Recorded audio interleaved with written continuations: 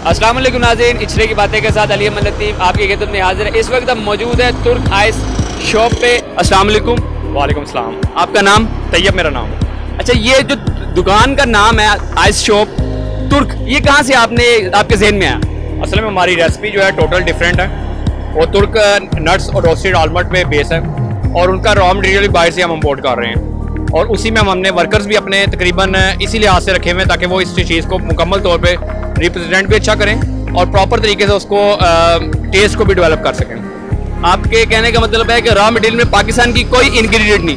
कुछ चीज़ें पाकिस्तानी हैं, कुछ जो मिल्क है वो पाकिस्तानी यूज़ कर रहे हैं। बहुत सारी चीज़ें पाकिस्तानी हैं, लेकिन कुछ जो बेस है हमारी, उसमें हमने तुर्क रेसिपीज़ को शामिल किया है। इस दुकान को इफ्तः हुए कितने दिन हुए? हैं तकरीबन बाईस दिन हो गए। तो कुछ रिस्पॉन्स अच्छा आया।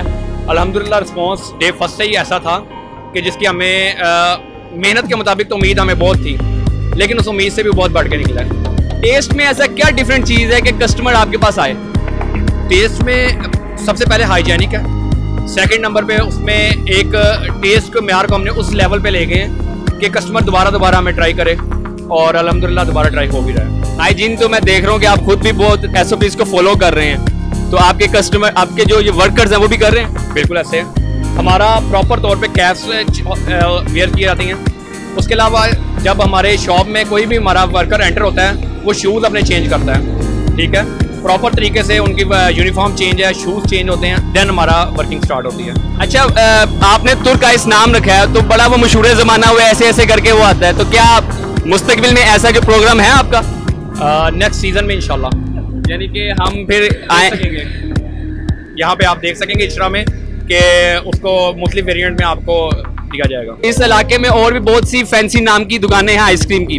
उनमें और इनमें क्या आप तफावत देखते हैं? बहुत सारी चीज़ें इसमें होती हैं आइसक्रीम में।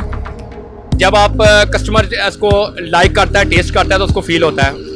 आइस अक्सर ऐसा देखा जाता है कि आइसक्रीम के अंदर आप मिल्क की जगह पे पाउडर यूज़ कर रहे होते हैं लोग। और बहुत सारी चीज़ें ऐसी हैं जो अफजान सेहत के असूलों के मुताबिक नहीं होती।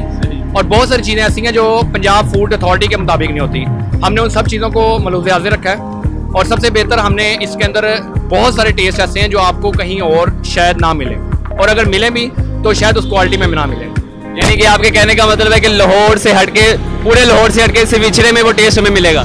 इनशाला बहुत शुक्रिया आपका, जो नाजरीन इस वक्त मौजूद थे तुर्क आइस शॉप पे, हाल ही में इसका अफ्ताह हुआ था, और इसकी बहुत धूम मची हुई थी जायके के लिहाज से। तमाम इचरे के फ़ूड लवर्स को भी हम कहेंगे कि वो आएँ चेक करें, और इनको लाइक कमेंट एंड शेयर करें। शुक्रिया।